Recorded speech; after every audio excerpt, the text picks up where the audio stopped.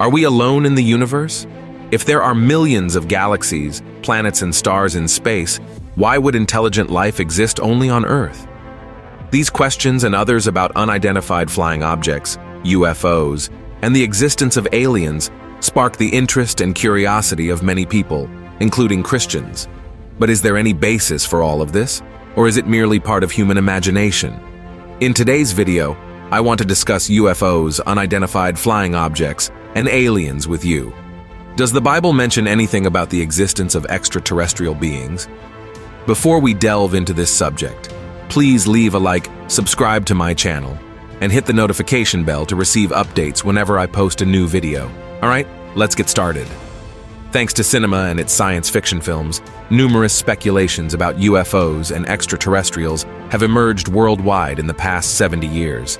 Additionally, thousands of people from different parts of the world have reported seeing lights from spacecraft and other strange objects in the sky.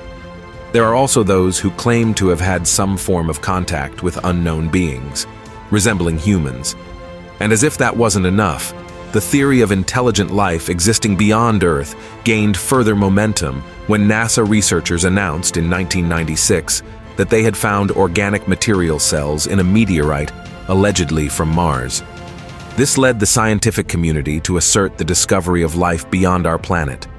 Consequently, millions of people began firmly believing in the existence of these extraterrestrials, with some arguing that the Bible itself mentions UFO sightings and beings from other planets. One of the most cited passages is the vision of the prophet Ezekiel, described in chapter 1 of the book of Ezekiel. Let's read what is written in that passage.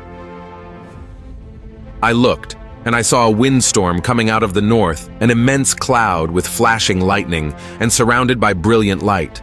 The center of the fire looked like glowing metal, and in the fire was what looked like four living creatures. In appearance, their form was human.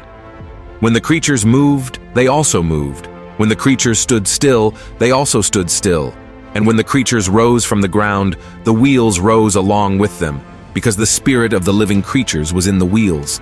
Spread out above the heads of the living creatures was what looked something like a vault, sparkling like crystal, and awesome. When we carefully analyze it, we can see that this passage truly describes a supernatural event. However, it is not related to extraterrestrial beings or UFOs. What the prophet Ezekiel witnessed on that occasion was the physical manifestation of God's glory. The living creatures mentioned were cherubim, not alien entities. Furthermore, the chariot referred to does not signify a spacecraft or flying saucer, but rather represents the spiritual authority of the Lord. Another argument often used by those who advocate for the existence of intelligent life on other planets is the vastness of space. They question why God would create so many galaxies if he did not intend to populate them. Nevertheless, this theory is also refuted by the Bible. Let's read what is written in Psalm 19.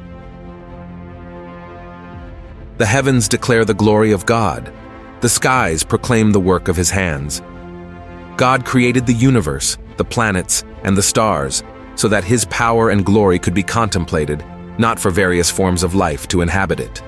And even though people may not believe what the Bible says on this matter, science itself proves that it is impossible for human-like life to exist outside of Earth. Among hundreds of things, consider what would be necessary for another planet to be habitable for any other intelligent living being. First, a star of approximately the same size and age as the Sun.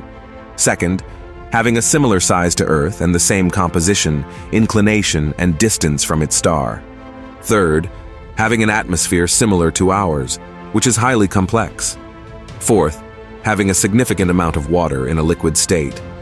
And you might be wondering now, but Pastor, if all this is true, how do we explain the lights, the strange objects, and even the beings that people claim to have seen in the sky and on Earth? Is it all a lie? Not exactly. The vast majority of UFO sightings can be explained by natural phenomena.